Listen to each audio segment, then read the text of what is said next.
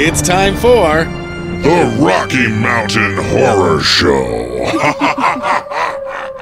we saw all three Terrifiers. Yes, we did. I just love Art the Clown. and by love, I mean I recognize and now respect him as a member of the pantheon of horror film franchise figureheads. Right, right. Like, you know, Freddy Krueger, mm-hmm. Mike Myers, Jason, Pinhead, Ghostface, Yeah.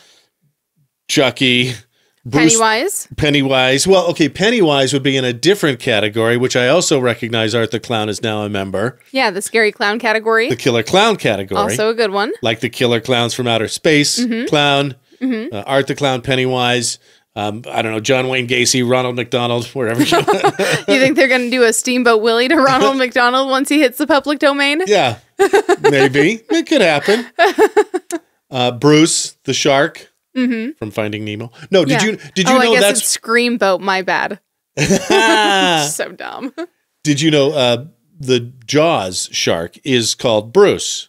Oh, And that's why the shark in Finding Nemo is Oh, Bruce the shark. that's actually kind of cute. I love that. One thing I love about Art the Clown, though, is the actor had he's got a three name name. I forget his name. David Sim Martin Chapin. No, It's like uh, Danny McGuffin Guffin. that's the guy that shot John Lennon. Anyway, um, but uh, he he must have gone to mime school or studied mimes. Something. Because his body language is incredible. One of the things that I think makes Art the Clown so scary is he doesn't talk. Right. Yeah, and that's the thing. It is so much harder. Keep that, you guys. Right, right. Well, and I think it's a little harder to be scary if you have lines, Yes, you know? Exactly. And so all he does is nonverbal communication, and the actor is so good at it. Mm-hmm. He's really good. it's so scary. hmm Now, I know that the actor that plays him in the movies isn't the same that played him in the shorts that predate the movies, Yeah, which we haven't seen yet. So we might we might have to do a little update on that next time. do a little YouTubing. yeah, well, and I kind of want to com- you know what? It would be kind of fun to compare Art the Clowns. It would be. Yeah. But yeah, he is just terrifying. Now the movie was campy.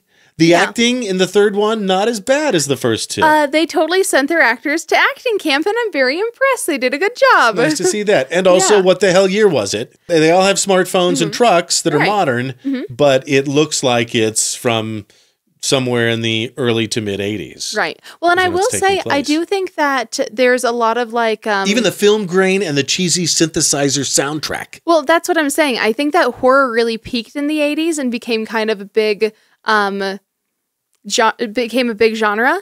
And so I think that we sort Halloween, of. Friday the 13th, Nightmare on Elm Street. Right, Absolutely. right. Yeah. Well, and even look at Stranger Things, obviously not made in the 80s, but placed in the 80s. I think that people just sort of connect the two. yeah, I almost wonder if they were going for a Stranger Things vibe in Terrifier 3. It wouldn't surprise me, honestly. Yeah. That and also I think that they like that like I think that horror in general likes to sort of um pull from nostalgia a little bit Okay. to sort of um give a false sense of security. So they give you lots of familiar imagery so that when it's completely ruined by whatever evil character they've created, it feels more devastating. hey, Senorita, that's astute. Thank you. Two people will get that. My big thing with Terrifier is realistically the story's not that great. But It's not. you're not there for the story. You're not. you're there for the slasher, Mhm. you know, and the practical effects are fantastic. It's slash tastic. yeah. If yeah. You want a good old slasher film romp, and I'm kind of glad they're bringing that genre back a little bit. yeah. You know what absolutely killed, and, and so I, I think it's time to revisit what killed the slasher genre for me. Mm-hmm. I swore them off forever. Mm. obviously not, but was Rob Zombie's House of a Thousand Corpses. Have Yeah. you ever seen that? no, I've heard that it's too much. Speaking of killer clowns, yeah, um, Mm-hmm. Captain Spaulding, I want to say, the guy that plays him in that, and I want to say the sequel, but it was just. I it was a rental and I had to just sort of disassociate half an hour in. I was like, Right. it's too much. And and I by the way, I thought speaking of that, thinking Mm-hmm. about speaking of it being too much, I did some see some really creative marketing for Terrifier 3. Really? Yes, like the typical, and I was sort of reminded of, oh, this is what they say about slasher films, like people Right. puking in the aisles. There was that rumor. Yeah. And uh, somebody had to leave, you know, three minutes into the film because they were having a panic attack. Right. That kind of urban legend stuff that's unverifiable and probably didn't happen or it happened to a friend of a friend, wink, wink. Right. Right. But the most creative pre-marketing for Terrifier 3 I saw is is a simple um, photo of somebody's Apple Watch.